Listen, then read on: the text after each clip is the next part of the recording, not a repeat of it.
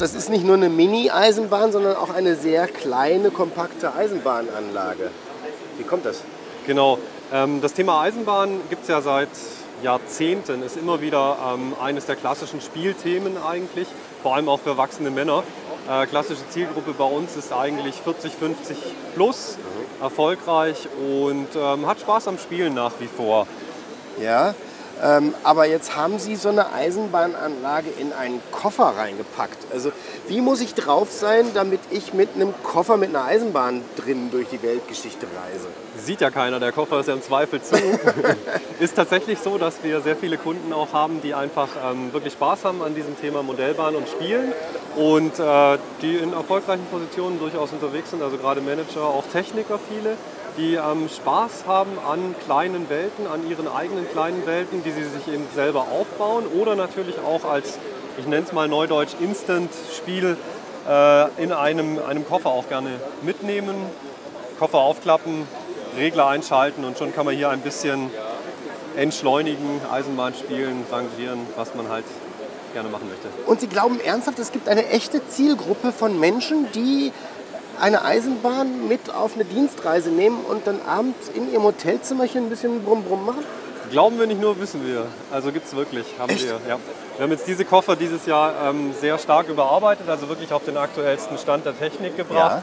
Ja. Ähm, haben die eben auch schöner gemacht, also was die Landschaften betrifft, was die Hintergrundbilder betrifft und so weiter. Die Koffer selber haben wir aber schon seit einer Weile im Programm. Und ähm, wir würden diese Investitionen in die Verbesserung nicht tätigen, wenn die sich nicht verkaufen würden. Krass. Was kosten die denn so? Also wir gehen hier bei den kleineren Koffern bei 999 Euro los und bei dem großen, der jetzt hier direkt vor uns steht, der hat dann auch zwei Bahnstromkreise, wo Sie zwei Lokomotiven fahren lassen können. Der liegt bei 1799 Euro. Also auch von der Preisstellung her ähm, schon was, wo ich sage, da muss ich äh, ein gewisses Einkommen haben, um mir das eben leisten zu können. Ja, und äh, das ist eine Entscheidung, das muss man schon wirklich wollen. Erstaunlich. Was kann ich denn jetzt an dieser Anlage machen? Also hier kann ich Geschwindigkeit vorwärts, rückwärts machen, ja, okay. Genau. Und die Knöpfchen da hinten, wofür sind die? Wir haben hier verschiedene Möglichkeiten, ähm, die Weichen zu stellen. Also wir haben hier vier Weichen, mit denen man dementsprechend auf den äußeren oder den inneren Kreis wechseln kann. Wir haben hier Beleuchtungen auch zum Beispiel, die in diesen ganzen Häusern verbaut sind. Mhm. Und wir haben sogar, das ist ganz neu, ähm, hier die Möglichkeit mit dem gelben Lichtdrehregler diese Beleuchtung in den Häusern zu dimmen, also heller und dunkler zu machen.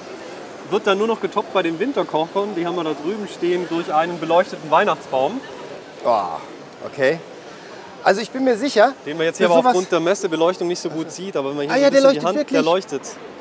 Also da ist so ein Weihnachtsbaum, ja, cool. der auch beleuchtet ist. Und das ist eigentlich auch wieder so ein Thema, so Kindheitserinnerungen, Weihnachten, Modellbahn. Das sind einfach Sachen, die die Leute damit verbinden und die die Leute wirklich ähm, ja, entschleunigen, wo die, wo die Spaß haben am Spielen und sich wieder an ihre Kindheit erinnern. Also ich bin mir sicher, für sowas gibt es auch eine App für 2,99 Euro, aber ich glaube, wer richtig lässig sein will, der kauft sich dann mal eben für 1800 Euro einen Koffer. Einen analogen Koffer. Ja, 2,90. Mit einer echten Eisenbahn. 2,90 für eine App kann ja jeder.